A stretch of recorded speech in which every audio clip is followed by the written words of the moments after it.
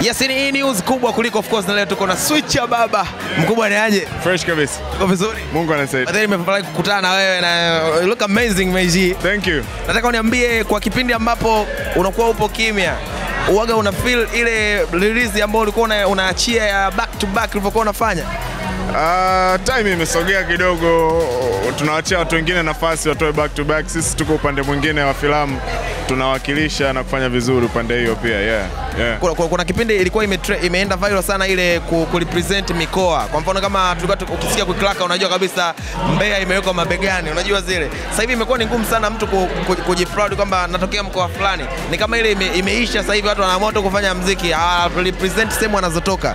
Ni, kipindi kile ilikuwa ni rahisi sana, sasa hivi kwa nini inakuwa ngumu?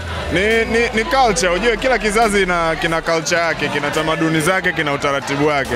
Sisi ilikuwa ukisema unapotoka ilikuwa kwa inakupa nguvu zaidi, uh, inaamsha wafuasi wako wa pande hizo zaidi, lakini sasa hivi muziki umekuwa hauna boundaries nyingi sana kama zamani. Kwa hiyo wasanii wa sasa hivi wa- wa- wako neutral eh, na kwa kizazi chao sio utamaduni kufanya hivyo, kwa hiyo si mbaya, ila sisi bado tunajulikana, tunatoka Mbeya yeah. Eh, nilikuona kwenye video ya Miamo nikasema kwa utaratibu ambao Switch amekuwa anafanya, yupo kwenye music industry, lakini pia yupo kwenye uigizaji pia anafanya vizuri kote.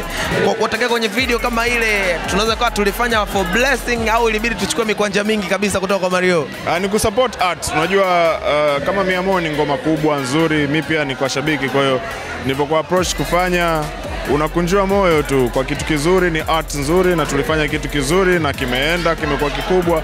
Kwa hiyo ni jambo zuri kusupport young talents, kusupport kazi nzuri na kusupport. Kitu gani ambacho uliwahi kupitia kwenye muziki ambacho waga kina kustress mpaka leo. Unaona kabisa da, hii kipindi kulikuwa kuna situation mbili tatu hizi ndo kitu kika happen hiki hapa. Mziki haujawahi kunistress, haujawahi na hautakuja, kwa vile ni kitu ambacho nafanya kwa kukipenda, wala sitegemei vitu vikubwa sana au kikubwa sana kutoka, kutoka kwenye mziki, bali mziki wenyewe ndo una- unanituliza mimi. Kwa hiyo kitu kinachonituliza hakiwezi kikani stress. Napokuwa na ma stress ya vitu vingine, mziki ndo huo unanituliza. Kwa hiyo sijawahi kupata stress ya mziki kwanzia nimeanza mpaka leo, na sitakuja kupata, maana mziki ndo tulizo langu. Best rapper kwako sasa hivi nani? Ah, kama kawaida you know. Mseme. Mseme, unam- Ah, inabidi umtaje wewe watu wamsikie. Mseme, unamjua, unajua unamjua, Mseme. Sio na noma, Mseme. Wa kwako mtaje. Mseme. Mnamjua, nimekuwa nikiwa- niki- niki- nikiwasema miaka yote, miaka zaidi ya mitano.